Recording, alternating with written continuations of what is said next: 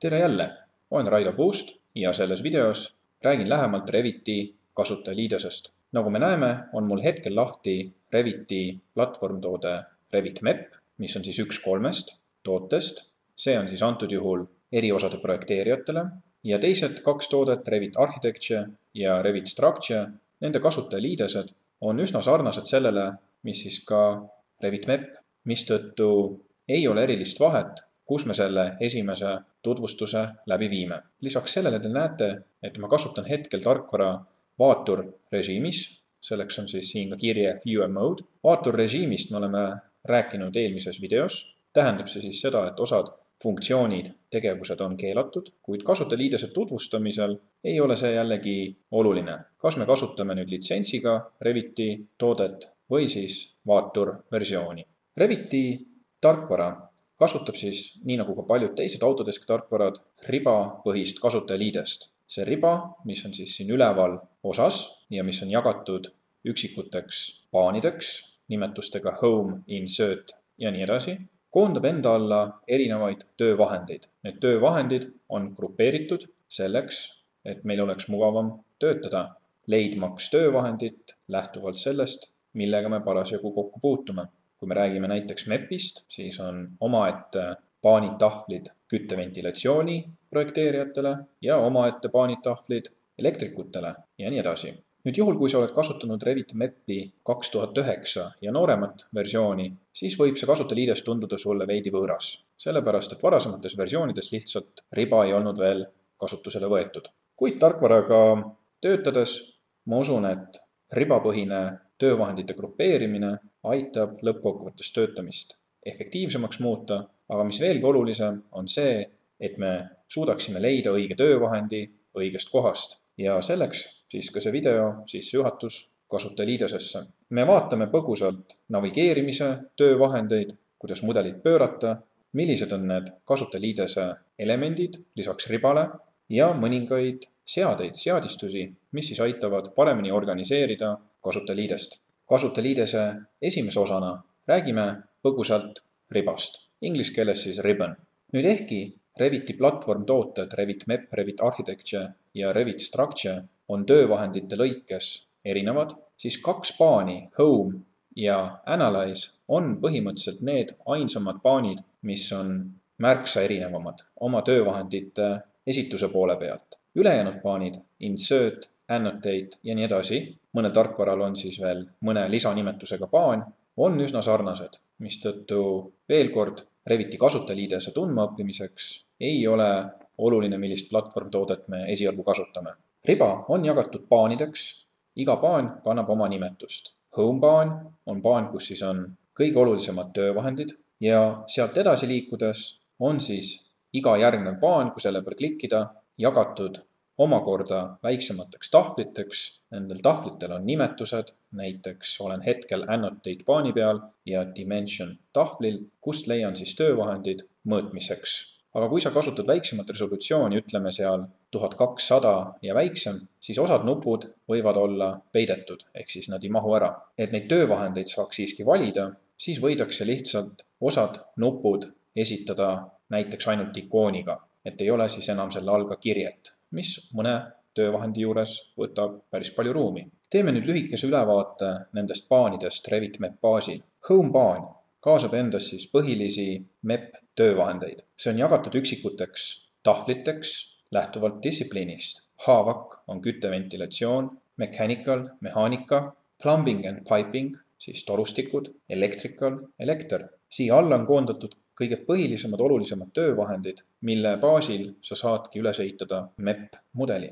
nüüd iga distsipliin, HVAC, mechanical, plumbing and piping ja electrical, omab väikest noolekest, need on settings, dialoogiaknad, kus siis saab redigeerida vastava distsipliini põhiseadeid. näiteks klikin HVAC selle noole peal avatakse dialoog, kus saan seadistada konkreetse distsipliini põhiseadeid. hetkel lähen siit välja canceliga. Insert paan. Insert paan sisaldab töövahendeid, mille abil me saame teisi faile Reviti mudelisse tuua või õigem oleks öelda siis Reviti projekti.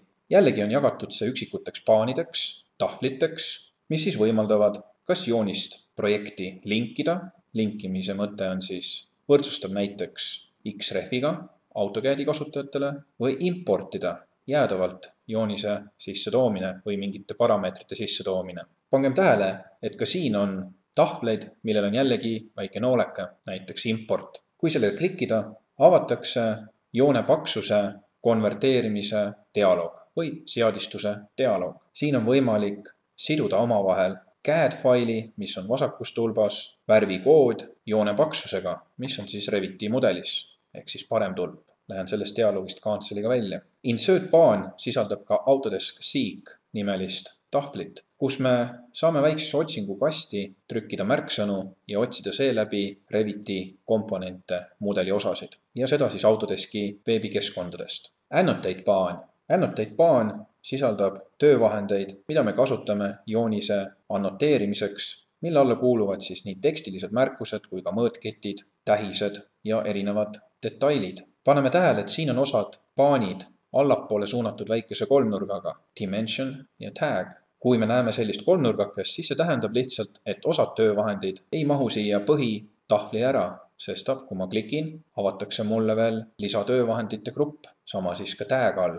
siit alt me leiame ka sümbol tahvli ja sümbol töövahendi. selle kaudu saame me oma joonisesse sisse tuua annotatsiooni perekondi, families või siis objekte ülekantud tähenduses ja seda siis lehtedele või vaadetele. me näeme, et tekstitahvel omab ka jällegi diagonaalnoolekest. kui selle klikkida, saame me redigeerida teksti stiile. järgmine paan on Analyze. nii nagu sai alguses ka öeldud, see on üks kahest olulisemast paanist mis on erinev kõikides platvormtoodetes Revit Map, Revit Structure ja Revit Architecture. siit alt me leiame töövahendid, mis võimaldavad meil läbi viia mudeliga teostatavaid analüüse, arvutusi. lisaks leiame me siin ka töövahendid, mis aitavad visuaalselt eristada meil näiteks erinevaid torusüsteeme mingi parameetri abil. selleks on color fill.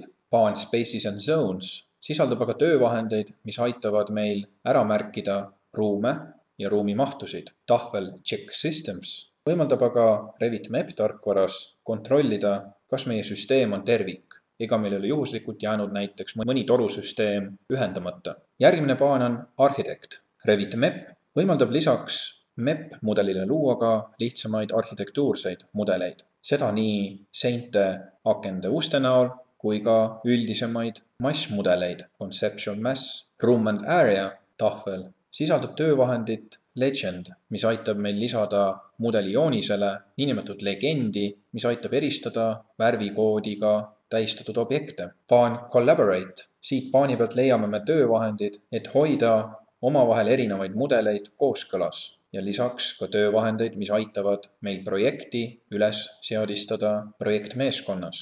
Need töövahendid leiame me paanilt Worksets. siin on meil ka hüpikmenüü, kus me saame siis valida aktiivse objekti grupi, millega parasjagu töötada. tahvel Coordinate alt me leiame ka töövahendid, mis aitavad meil seadistada üles objektide järgimist selliselt, et meid teavitatakse, kui mingi objekt näiteks on muutnud oma asukohta või mõõtmeid. juhul, kui näiteks mõni objekt on kaotanud lingi või sideme oma peremeesobjektiga, siis on võimalik siit see reconcile hosting töövahendiga taastada. Mudeli osade vahel saame me kattuvusi omavahel kontrollida ka töövahendiga interference check, töötades projektmeeskonnas, kus ühe ja sama projektiga töötavad mitu erinevat osapoolt ja kus igale objektile ei ole õiguseid kõikidel osapooltel, siis töövahend editing requests võimaldab meil vaadata, milliste objektide muudatuste osas on tehtud meile päringuid ja nendega siis nõustuda või keelduda. ja seda loomulikult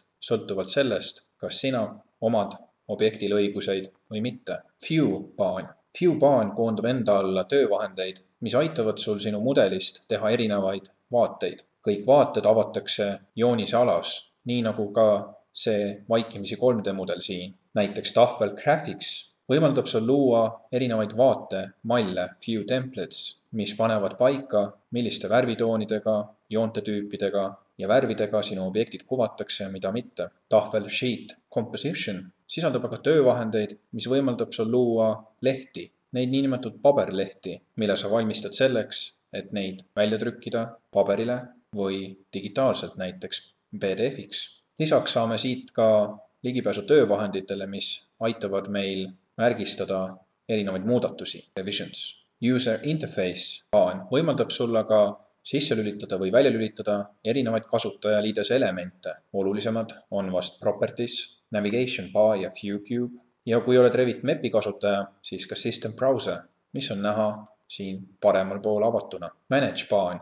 Manage baani peal me leiame töövahendid, mis võimaldavad meil määrata projekti seadeid. näiteks inquiry tahvel aitab meil leida objekte mingi kindla omaduse järgi ja lisaks kuvada ka veateateid, ebakooskõlasid, mis meie mudelis eksisteerivad, warnings. erinevaid seadeid me saame konfigureerida settings tahvli peal, projektiseaded, ühikute seaded, kuid me leiame siit ka töövahendi additional settings, kust saame ligipääsu veelgi rohkematele projektiseadetele. kui töötame Revit MEP-iga, siis põhilised seaded on koondatud MEP settings nupu alla. me näeme siin jällegi allapoole suunatud kolmnurka, mistõttu avaneb hüpikmenüü. Modify paan. Modify paan on vaikimisi kõige viimane paan ja seetõttu asub see siis ka riba kõige lõpus. Modify paan sisaldab töövahendeid, mis võimaldavad su mudeli objektidega teha erinevaid muudatusi. töövahendid, mis on enam kasutatavamad, omavad suuremat ikooni, seevastu töövahendid, mida sa võib-olla kasutad harvem, on esitatud väiksema ikooniga. pane tähele, et ka siit leiad töövahendeid, mis sisaldavad alamtöövahendeid. Klikkides vastaval allapoole suunatud kolmnurgal avaneb siis kogu valik. töövahendid, mis aitavad sul luua objekti gruppe, asuvad aga tahvlil Create juhul, kui sa kasutad Reviti tarkvaras lisapluginaid, lisamooduleid, siis kuvatakse need paanil add-ins. pane tähele, et modify nupp kuvatakse igal paanil ja alati esimese nupuna. See töövahend võimaldab sul ka kõige lihtsamini väljuda mis tahes käsust, mis on alternatiiviks escape klahvi korduvale vajutamisele või mõne teise töövahendi valimisele mis tahes paanilt lisaks paanidele, mida me alati näeme, on osad paanid peidetud ja neid paane kuvatakse alles siis, kui me oleme mingisuguse tegevuse keskel. Need paanid sisaldavad seejärel spetsiaalseid töövahendeid, mis aitavad siis valitud objektiga mingit tegevust läbi viia. Need lisapaanid ja tahvlid kuvatakse Modify paani peal või peale seda ja need lisapaanid muudavad ka värvi, selleks et meid paremini teavitada, et me oleme mingisuguses vaherežiimis. näiteks kui ma valin seinaobjekti, siis see lisatav paan on rohelist värvi ja sisaldab lisatöövahendeid, mis on just mõeldud töötamaks selle seinaga. lisaks sellele me näeme, et Modify paan muudab enda nime ja jällegi muutub roheliseks ja Modify paani teine ots näitab alati objekti gruppi, millega me parasjagu töötame. kui antud juhul on tegemist seinaga, siis on siin walls, kui ma valin aga põranda, siis ma näen Modify Floors ja jällegi on nüüd põrandatega seotud lisatahvel Mode. täpselt sama kehtib ka MEP-i objektide kohta. valin näiteks valgusti ja ma näen, et Modify Lighting Fixture paan kuvatakse. lisaks sellele on siin lisapaanid Switch Systems ja Electrical Circuits ja need kõik paanid omavad siis selle konkreetse objektiga seotud lisatöövahendeid.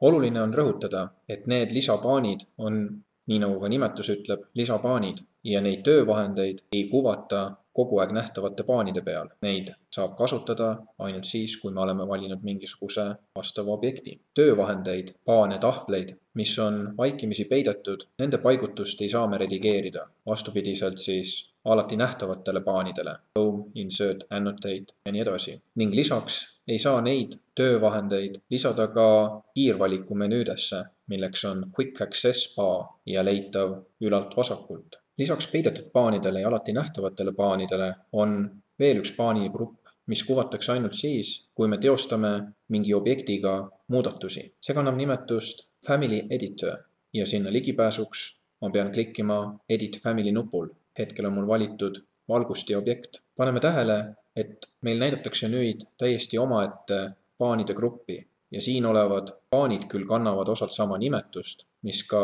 eelnevalt näidatud paanid, siis töövahendid, mida me siit alt leiame, ei kattu kindlasti kohe nendega, mida eelnevatel. seetõttu käime ka need paanid kiirkorras läbi.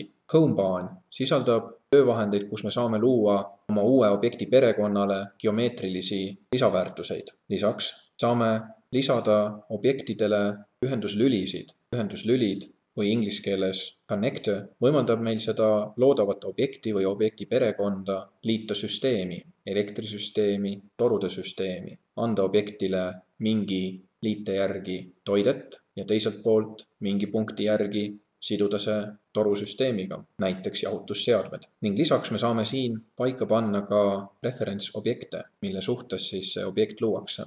Insert baan pakub meile võimalust tuua sisse teistest failidest graafikat, kuid paneme tähele, et osad töövahendid on siin hallil taustal ja see ei ole tingitud asjaolust, et ma olen hetkel vaatorrežiimis, vaid Family Editor režiimis me saame kasutada ainult import töövahendeid selleks, et täiendada Reviti perekonna või objekti faile. Annotate baan, siit me leiame põhitöövahendid, et lisada loodavale objektile märkuseid, nii tekstilisi kui ka mõõdulisi. jällegi paneme tähele, et osad töövahendid, kui need ei mahu ära, on peidus, nagu dimension tahvli peal. View baan, me näeme, et view baan sisaldab oluliselt vähem töövahendeid kui tavarežiimis riba peal olev view baan. saame luua lõikevaateid, saame paigutada kaamerat mingisse ruumipunkti, selleks, et luua mingi 3D esitus. ManageBan. ManageBan sisaldab töövahendeid, mis aitavad meil määrata seadeid. näiteks leiame jällegi tuttava Map Settings nupu, mis on küll spetsiifiline Revit Mapile. saame laadida koormusfaktoreid ja tarbimisega seotud kordajaid. ja jällegi Additional Settings nupp pakub meile terve rea lisaseadete töövahendeid. Modify baan on põhimõtteliselt sama, mille leiame ka projekti keskkonnas oleva riba pealt. ja ka siin kuvatakse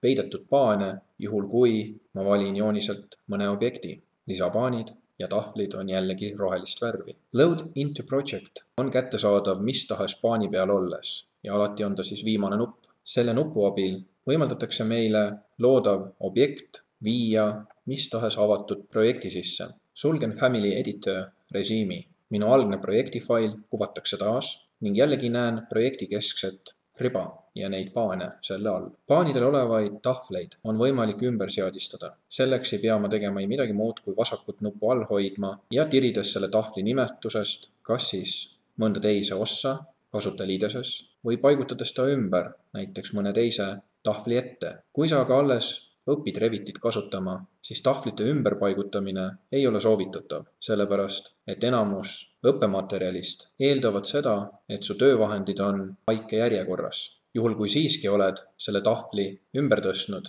ja paigutanud sellesse teise asukohta, siis sa saad täpselt samamoodi selle asukoha taastada, tirides ta endisesse asukohta. kui sa oled ühe tahvlitest mujale tirinud ja soovid selle asukohta taastada, kus ta algselt oli, aga ei mäleta täpselt, kus ta on, siis seda saad sa teha ülal paremas nurgas asetseva nupu kaudu, Return panel to ribbon. see taastab selle endises asukohas. pane tähele, et tahvlit, mida kuvatakse mingi paani all, näiteks home paani all olev plumbing and piping, sa saad seda küll ümber paigutada selle konkreetse paani peal, kuid sa ei saa seda tõsta mõnele teisele paanile, näiteks insert paanile. kui üks paan on eemale tõstetud ja ka mõni teine tahvel on eemale tõstetud, siis sa saad neid omavahel ühendada, nähes mingis servas tekkivat halli kasti, lased hiirenupu lahti ja need tahvlid ühendatakse nüüd teises järjekorras juhul, kui sa jälle otsustad, et tahad neid algsesse asukohta tagasi, siis kehtib siin ka sama reegel. saad ülal paremas nurgas klikkida Return Panels to Ribbon ja pane tähele, et nad tõstetakse nüüd nende algsetesse asukohtadesse. tahvlite uus paigutus jäetakse meelde, ehk siis kui sa oled ühe tahvli eemale tõstnud, teise kohta paigutanud, siis Reviti taaskäivitamisel on nad endiselt seal sinu poolt redigeeritud asukohas. kui sa kasutad näiteks kahte monitori, siis sa võid isegi neid tahvleid tõsta teisele monitorile ja jällegi see asukoht jäetakse meelde, kui sa tarkvara uuesti käivitad. mõistagi mõni paan kuvatakse oma uues asukohas alles siis, kui sa oled avanud projekti faili. paanide tahvlite tõstmine erinevatele ekraanidele sõltub muidugi kasutajast ja tema harjumustest, kuid üldjuhul on soovitav hoida neid vaikimisi asukohtades ühe konkreetse paani all, sest nii on neid lihtsam leida, kui sa alles tarkvara õpid kasutama. kui sa oled mõne tahvli eemale tõstnud ja rohkem kui ühe, siis mõnel juhul võib olla lihtsam taastada algne olukord, kustutades oma failisüsteemist fail nimega ui state.tat, olles mõistagi eelnevalt Reviti tarkvara sulgenud. kui nüüd tarkvara uuesti avad, on taastatud ka tahvlite endised asukohad, kuid pane tähele, et selline faili kustutamine mõjutab ka seda ülemist quick access bar riba ja seda sa oled võib-olla täiendanud tarkvara kasutamise käigus. riba esitust saab omakorda muuta, kas siis täisesitus või kompaktsemal kujul. seda võimaldab teha nupukene paani nimetuste lõpus. siin on ka üks allapoole suunatud kolmnurk, kust on näha erinevad võimalused, mismoodi saab riba paane ümber seadistada. näiteks minimize to tabs kasvatab oluliselt mudeliga töötamise ruumi ja töövahendi leian ma siis, kui ma klikin mingil paanil, mis avab siis selle konkreetse paani tahvlid ja töövahendid. kui ma ka hiirega lähen siit välja, siis see paan jällegi peidetakse. valik Minimize to panel titles võimaldab näha mul lisaks paani nimele ka tahvli nimetusi. Minimize to panel buttons võimaldab näha mul ka taas tahvli nimetusi, kuid lisaks ka iseloomulikku ikooni, klikkides valikul Cycles through all ja seejärel vasakpoolsel kolmnurgal võimaldab meil ükshaaval läbi käia see nimekiri erinevatest ribaesitustest, kuniks oleme leidnud endale meelepärase. mina valin hetkel vaike esituse me oleme põgusalt rääkinud nüüd ribast ja seal leiduvatest töövahenditest ja me panime ka tähele seda, et kui liikuda ühelt töövahendilt teisele, siis me peame navigeerima või vahetama erinevate paanide vahel, mistõttu mõne töövahendi lisamine kiiremini leitavasse asukohta võib osutuda vajalikuks. ja selleks ongi Quick Access Toolbar, mis on see ülemine riba, kust vaikimisi me võime leida töövahendeid faili või projekti avamiseks, selle salvestamiseks undo ja redo ja mõningad annoteerimise töövahendid, kuid siia on võimalik mingi enamlevinud töövahend veel lisaks panna. oletame näiteks, et mechanical equipment on see töövahend, mida ma tahan lisada sinna quick access nuppude nimistusse. ma teen sellelt parema klõpsu ja valin add to quick access toolbar ja nüüdsest on see nupp alati siit riba pealt ka leitav. lisaks sellele on mul siin riba lõpus allapoole suunatud kolmnurk. klikkides sellel, ma näen lähemalt, millised töövahendid mul hetkel on saadaval selles nimekirjas. mul on võimalik muuta ka selle riba asukohta, kas see on ribast ülevalpool, nagu ta praegu on, või ribast allpool. võtan show below the ribbon ja nüüd on see riba siis allpool kuvatud ja teen sama uuesti. Show above the ribbon ja tõstetakse jälle ülemisse serva. kui ma tahan siia lisatud töövahendit kustutada, siis ma teen sel töövahendil parema klõpsu ja ütlen remove from quick access toolbar. kuid lisaks sellele võimalik lisada siia ka töövahendite eraldusjooni, add separator. me näeme neid siin ka juba olemasolevate töövahendite vahel, hallid vertikaalsed jooned, mis aitavad meil eristada või siis grupeerida erinevaid töövahendeid. hetkel võtan remove from quick access toolbar, mis eemaldab eelnevalt minu poolt lisatud töövahendi. kui võtan aga siit hüpikmenüüst customize Quick Access Toolbar, siis siin on võimalik mul muuta näiteks olemasolevate töövahendite järjekorda, valides töövahendi ja seda siit kas siis kustutada või näiteks üles-allapoole liigutada. Põhitöövahendeid, mis on siin vaikimisi olemas, saan ma eemaldada ka lihtsalt sellel klikkides siin, ehk siis see linnukene võetakse eest ära. näiteks kaotasin ära ma hetkel open käsu ja saan selle sama kiirelt taastada. Revit tarkvara sisaldab veel palju erinevaid kasutajaliidese elemente, mis aitavad mudeli disaini muuta efektiivsemaks. mõned neist on uued, mõned neist on muutuvad, sõltuvalt, millist versiooni parasjagu kasutad. üks olulisemaid peale töövahendi valimist on Options bar. Options bar riba me näeme alati riba all, olles valinud näiteks objekti, siis riba alla tekkiv lisarida ongi Options bar. see on keskne koht, kust me leiame konkreetse objekti põhiparameetrid ja saame neid ka redigeerida. mõistagi, see Options bar on erinev ja seda sõltuvalt sellest, millise objekti tüübi me oleme valinud. kui mul siin hetkel on valitud toru, nüüd olen valinud põranda või seina. Pane tähele ka seda, et olles erinevas Reviti tarkvaras, siis mitte kõik arhitektuursed seadistused, funktsionaalsused ei ole saadaval näiteks Revit MEP tarkvaras ja mõistagi ka vastupidi erinevate Revit platvormtoodete vahel. järgnev oluline kasutajaliidese element on properties'e palett mida me näeme siin vaikimisi vasakul ülaservas. selle paleti võib siit välja tõsta nii, et ta ujub meil ekraanil. Saame seejärel muuta selle suurust, nii et kui oled AutoCAD-i kasutaja, siis tea, et Revit tarkvaras on Properties'e akna olemus peaaegu sama. me näeme siin valitud objekti põhiparameetreid, mis aitab meil samas ka valitud objekti parameetreid muuta, tegemata selleks liigseid klikke. vaikimisi jagab Properties'e aken Project Browseriga sama vasakut serva, kuid nad võivad paikneda siis ka mõistagi erinevates servades. tõstan selle hetkel vasakuse serva tagasi. pane tähele, kuidas Properties'e akna sisu muutub. olles valinud mõne objekti, siis kuvab see selle konkreetse objekti parameetreid, näiteks toru, ja siit ma saan muuta, redigeerida selle konkreetse objekti parameetreid. kui aga mitte ühtegi objekti ei ole valitud, siis näidatakse mul selle konkreetse vaate, kus ma hetkel olen ja mis on projekti brauserist mul aktiivne, mida näitab tumedas trükis rida siis näitab Properties'e palett mulle just selle vaate põhiparameetreid. olles valinud aga objekti, siis ma saan vahetada Properties'e akna sisu esitust, klikkides objekti hüpikmenüüs ja võttes uuesti vaateseaded, nii et selleks ma ei pea ilmtingimata objekti valikut tühistama. kui sa teostad mõne muudatuse objektiga, trükkides uue väärtuse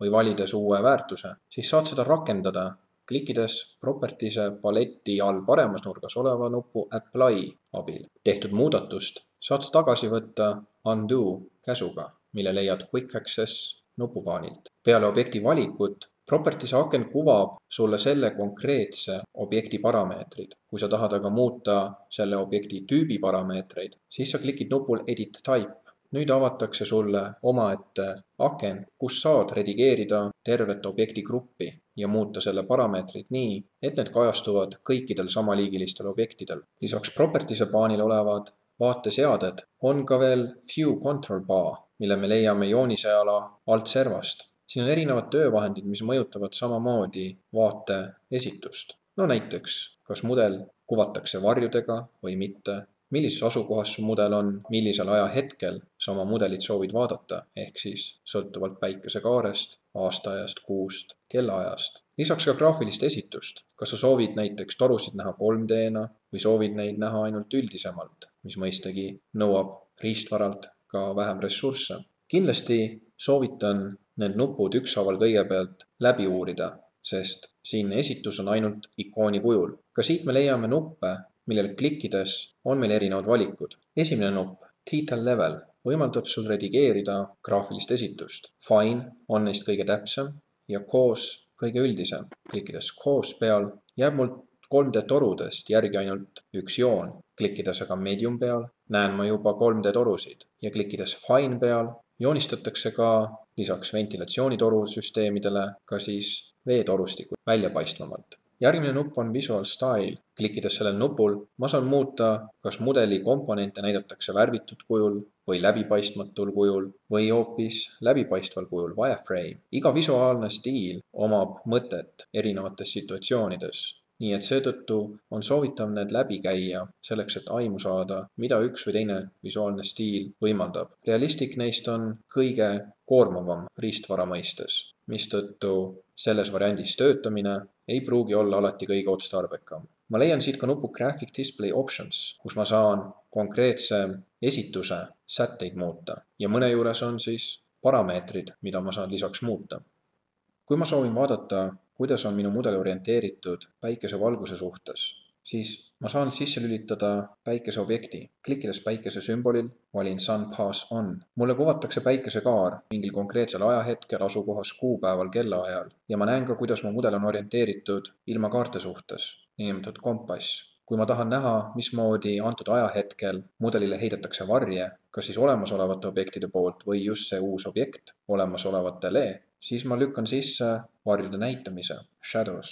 seejärel saan lihtsalt päikest tirides muuta kellaaega ja seeläbi ka mõjutada, kuidas mudelis varjud tekivad. üldjuhul päikese objekt on sisse lülitatud ja varjud ka, siis me mudeli endaga väga mingeid redigeerimisi ei tee, sellepärast et töötamine sellises režiimis on väga ressursinõudlik. seetõttu varjude väljalülitamiseks piisab, kui ma klikin uuesti Shadows nupul ja päikesekaare väljalülitamiseks klikin Sun Pass Off. mul on võimalik seadistada mudeli asukohta Sun Settings näol. saan valida asukoha, kuupäeva, kellaaja. kui ma oma mudelit või mudeli vaadet paigutan paberilehele, kujundan väljatrükke, siis on olulised nupud Crop View ja Show Crop Region. klikkides sisse näiteks Show Crop Region, saan ma mõjutada, millist osa mudelist näidatakse, kui see paberile tõsta. selliselt ma ei pea looma otseselt uut vaadet, vaid saan siis olemasoleva vaate peal teha need muudatused. kui ma soovin mudelit renderdada ehk ilupilti teha, siis selleks on renderduse dialoog, show rendering dialoog. saan panna paika kvaliteediseaded ja seejärel teha ilupilt. kui ma soovin mingit vaatenurka aga lukku panna nii, et ma kogemata seda ei pööraks, näiteks orbit käsuga, mis töötab shift ja hiire keskmine nupp, siis ma saan seda teha nupu abil unlock 3D view. klikkides sellel nupul saan salvestada selle vaatenurga, save, annan selle nimetuse, okei okay ja seejärel mul keelatakse ära juba orbit tegevus ehk siis shift ja hiire keskmist nuppu ma siin kasutada ei saa. küll aga saan mudelit nihutada endiselt, mudelit suurendada ja lisada siia märkuseid, annotate paani pealt näiteks.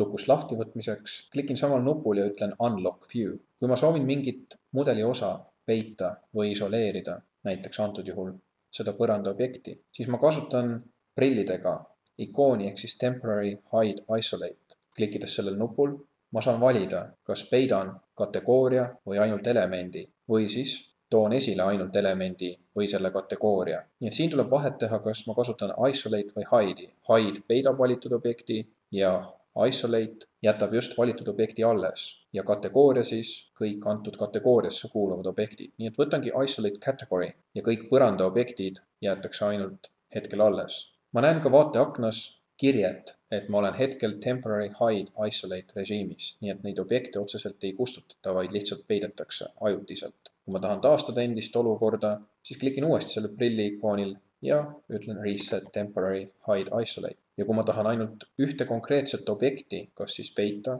või alles jätta, siis ma kasutan element valikuid. olgu, et ma kasutan hetkel hide element, siis ainult see valitud objekt peidetakse ajutiselt ja jällegi ma näen siin sinise värvitooniga piiratud kasti. saan taastada selle olukorra, kui ütlen jälle reset temporary hide isolate. kui mul on joonises peidetud objekte ja see on tehtud just siinsamas, näiteks hide element käsuga, siis on võimalik mul kasutada viimast nuppu siin nupupaanil reveal hidden elements ja sellisel juhul kuvatakse mulle kergemas graafilises esituses millised objektid on peidetud. antud juhul oli siis selleks põrandaobjekt. kui siit režiimist soovin välja minna, siis klikin uuesti sellel samal nupul ja taastan ka kõik peidetud objektid, reset. järgmine kasutajaliides element, mida me vaatame, on staatus bar ja see staatus bar on kõige alumine hall tarkvaraakna riba, kus ma näen näiteks infot, mida ma peaksin või võiksin parasjagu teha, kui ma olen mingi käsu aktiveerinud. seda siis siit alt vasakult poolt. näiteks klikin töövahendil Wall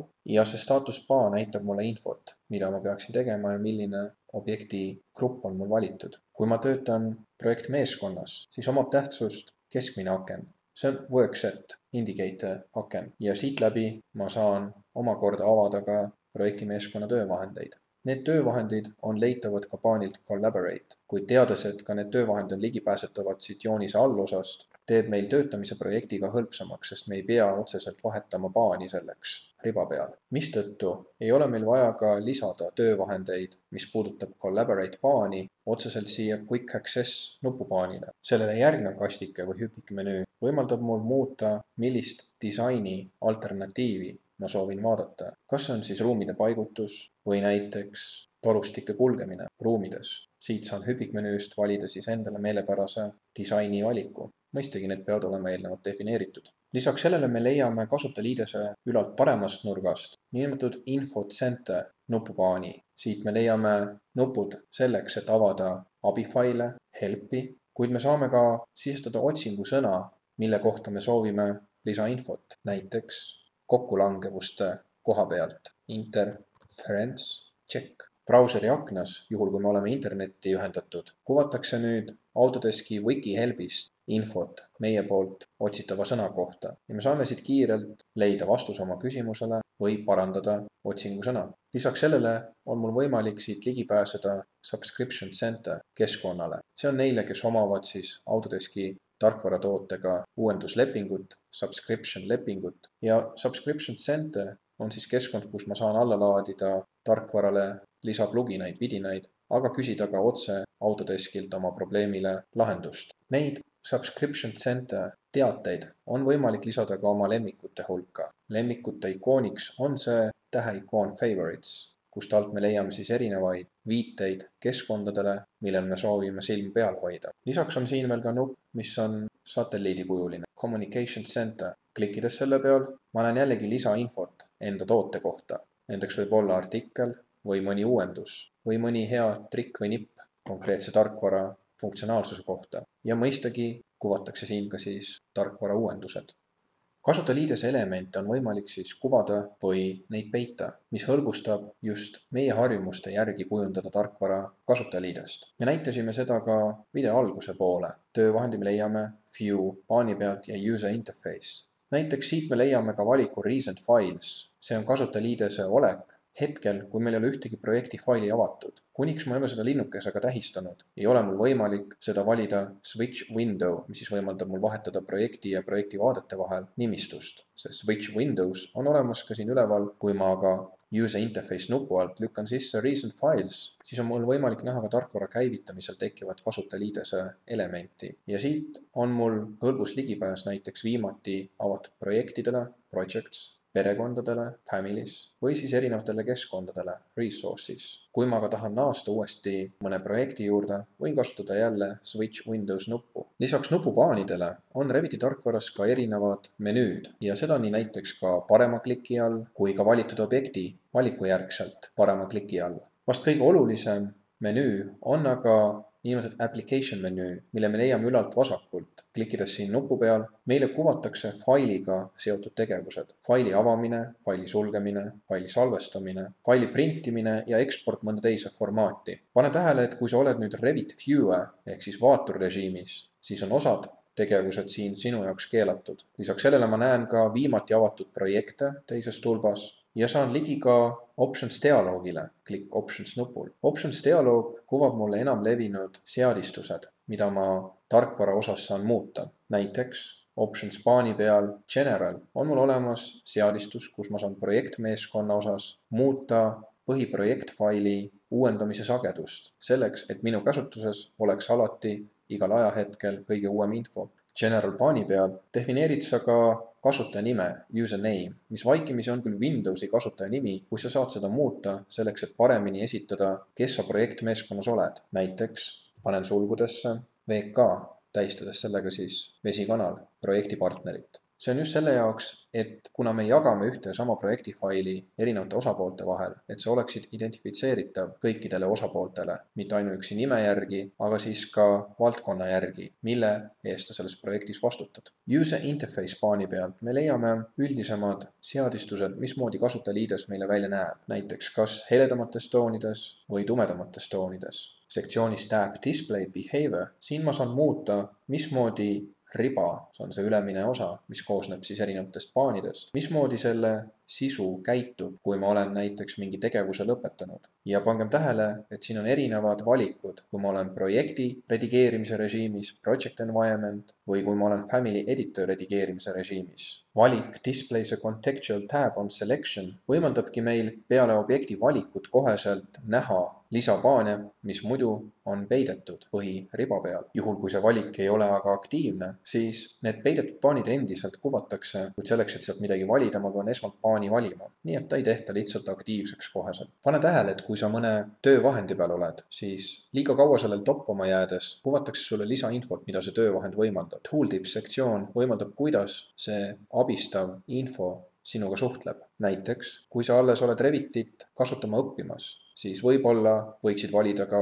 high seade. see kuvab sul lihtsalt rohkem infot hüpikaknas mingi töövahendi olemuse kohta. kui sa aga arvad ühel hetkel, et see lisainfo, mis sulle nupu peal olles kuvatakse, muutub häirivaks, siis sa saad valida siit none ja edaspidi enam seda infot ei kuvata. kui ma tarkvara alles õpin, siis on mõistlik hoida seda valikut siin vähemalt minimaalseades. kui seda proovida ja liikuda töövahendi peale, siis ma näen töövahendi nimetuse kõrval kuvatakse sulgu sulgudes ka selle kiirvaliku klahvi kombinatsioon, antud juhul pipe on põh-i. kui ma selle none'i peale panen, siis seda ka ei kuvata. taastan hetkel olukorra normal. sul on võimalik ümber seadistada ka klahvi kombinatsioone, mis hõlbustavad valimaks mingit töövahendit või alamsätet. jällegi olles Options dialoogis ja User Interface paani peal, saad sa klikkida nupul Keyboard Shortcuts Customize. siin sa näed hetkel kõiki kehtivaid klahvi kombinatsioone, millega mingit töövahendit saab käivitada ja saad ka seda redigeerida. Keyboard shortcuts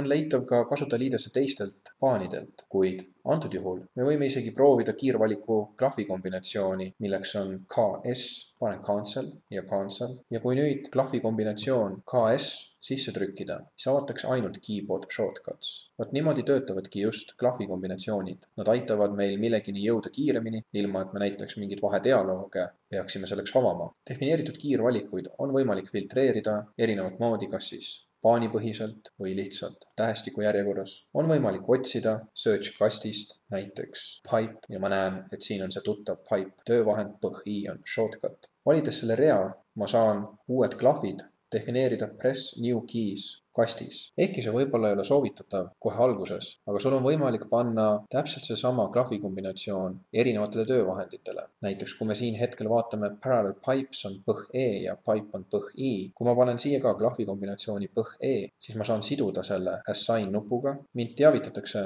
et see on juba kasutusel, klikkides OK peal ja väljudes sellest dialoogist OK-ga ja kasutades nüüd klahvi kombinatsiooni põh E, siis ma näen, et all kuvatakse mulle pipe töövahend vahend. kui ma nüüd tahan aga näha, kas selle klahvi kombinatsiooniga või kui ma tean, et selle klahvi kombinatsiooniga on ka teisi töövahendeid, siis ma saan lihtsalt noolte klahvidega valida neid ümber. Up and down, ma näen pipe ja parallel pipes ja olles valinud noole klahviga nüüd selle välja, siis space ehk tühik käivitab antud käsu, antud juhul siis parallel pipes hetkel lähen escape'iga välja ja lähen uuesti klahvi kombinatsioonide dialoogi ja võtan selle seadistuse maha. põh E ja remove. sul on võimalus klahvi kombinatsioone salvestada ka failidesse ja neid redigeerida näiteks mõnes tabelarvutusprogrammis. selleks on nupp export, panen selle näiteks desktopi peale ja seejärel avan selle faili näiteks Exceliga. avan selle kui as an XML table ja mul on võimalik siin nüüd hoopis mõnusamalt ja mugavamalt teostada näiteks mõni muudatus. võib-olla huvitab mind just seesama muudatus pipe, mida ma eelnevalt ka näitasin. otsin siin põh-i-d ja seejärel muudan selle näiteks ära, et see on põh-e. kui ma nüüd salvestan selle faili siin Excelis ja panen sellele ka teise nimetuse, väljun Excelist ja kasutan nüüd nuppu import muudetud klahvid, open ja ütlen antud juhul overwrite existing. Merge tähendab seda, et samamoodi nagu eelnevalt sai näidatud, klahvi kombinatsioon lisatakse, aga panen nüüd overwrite existing ja ma näen, et minu põhi muutub nüüd põheeks. selliselt saan ma klahvi kombinatsioone ka väga mugavalt ühest arvutist teise jagada. antud juhul ma teen aga selle muudatuse tagasi nüüd siin Revitis uuesti. käsk põhi, assign ja okeiga lähen dialoogist välja. Options paani järgmine paan, graphics, võimaldab sul muuta, millistes värvitoonides kuvatakse näiteks objekti valik, eelvalik või hoiatus. sa saad muuta ka jooniseakna tausta värvi. no näiteks võib-olla meeldib sulle töötada hoopis rohkem mustal taustal. sellisel juhul klikid sa nupul Invert background. kui Revitis mõni objekt valida, siis näidatakse selle objekti valiku juures niinimetatud ajutisi mõõte, mõõtkette. sa saad muuta nende mõõtkettide esiletulekut selleks, et nad oleksid paremini nähtavad sektsioonis temporary dimension, antud juhul siis nende suurust, size ja milline on taust, kas nad paistavad läbi või need mõõtketid joonistatakse sellisele valgele alusaknale. lisaks on võimalik seadistada file location paani pealt, kust on leitavad projekti mall-failid, kuhu salvestatakse vaikimisi projekti faile. paanidelt steering wheels ja cube leiame sätted, mismoodi kuvatakse meile siis navigeerimise töövahendid. antud juhul siis view cube on siin akna paremas nurgas. rendering paani peal me saame seadistada võrgu renderdust ja makros paani peal me saame seadistada, kas neid kasutatakse või mitte, juhul kui on tegemist siis lisapluginatega või objektidega kiirvaliku menüüd kuvatakse siis, kui ma teen näiteks vaateakna tühjas kohas parema kliki, valin mõne objekti ja teen parema kliki või näiteks olen Project Browseris ja teen siin parema kliki. Need tekkivad menüüd aitavad mul jällegi hõlpsamini projektis toimetada, kiiremini teha mingi valik või tegevus lisaks sellele ma näen parema kliki all ka käske, mida ma olen hiljuti kasutanud, mis hõlbustab veelgi mingit tegevust korrata. viimati kasutatud käsku saan kasutada jällegi enter klahvi vajutades, nii nagu ka üldjuhul meil näiteks AutoCADis on seadistatud. lisaks enterile saan kasutada siis repeat valikut. Recent commands kuvab alati viite viimati kasutatud käsku ja mõistagi see kiirvaliku menüü, mida kuvatakse, sõltub sellest, mis tüüpi objekt on meil valitud. kui oled ühe objekti valinud ja teed parema kliki, siis on võimalik sul valida ka select all instances ehk siis antud juhul valitakse samatüübilised objektid kas siis ühes samas vaates, mis siis on hetkel aktiivne, või üle terve projekti. kui ma võtan visible in view, valitakse mulle antud juhul siis mitu seina. näen properties aknas seda väärtust, mis on nelikümmend neli. valides aga select all instances in entire project, valib see üle terve projekti. antud juhul on mul siin muidugi 3D mudel avatud, mistõttu ma neid erinevusi ei näe. Properties'e paletti, juhul kui on meil see suletud, näiteks oleme ristist ta kogemata sulgenud, siis saan kõige lihtsamini selle uuesti kuvada, kui teen projekti tühjas kohas parema klõpsu ja võtan properties juhul, kui sinu mudel sisaldab ka linke teistele Revit projektidele, näiteks MEP projektile, siis Project Browser näitab ka Revit link sektsiooni ja ka siin nende konkreetsete Reviti failide peal saab teha parema klõpsu ja teostada selle konkreetse lingitud failiga mingi tegevus. nagu me nägime, paremat klikki me saame teha väga erinevates kasutajaliidese